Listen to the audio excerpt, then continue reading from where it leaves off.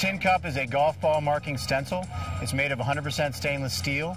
And basically what it is, it's a steel shell that you place over the golf ball and you get a permanent ink pen, you color in and make your mark on the ball. So the Tin Cup was designed to mark your golf ball with a logo of choice. One of the neat things about Tin Cup is that you can customize the cup for events, for tournaments. This is a cup we actually did for the PGA of America for a tournament we did down in Florida this past year. This particular cup is actually um, the USMC Marine Corps Eagle Globe and Anchor, and we're very proud to be partnered with the Birdies for the Brave uh, Foundation.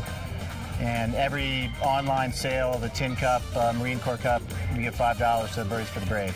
We're here at the uh, 2012 Women's U.S. Open in Wisconsin, so we did a, a, piece of cheese. Also here, Black Wolf Run is where we're playing, the tournament's being played, and this was a custom that we did for Black Wolf Runs. This is a limited edition cup. This is new at Tin Cup. We did 250 of these. It's a U.S., it's kind of a tattered flag, if you will and we did it for the 4th of July holiday. We can do customs, we can do all sorts of different uh, types of cups to personalize your event. We're at www.tin-cup.com.